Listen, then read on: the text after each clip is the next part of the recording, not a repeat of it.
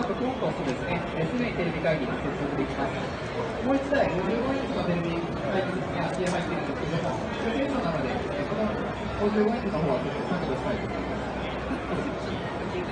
主催者側からですね、こういうふうに削減したりとか追加したりとか簡単にできます。ユーザーを追加で例えば、押してあげれば出てきますので、招待をしたら、このテレビ会議にすぐ入ったり、まあ、そんなことも出し入れ簡単ですね。で、皆さんが今映ってると思います。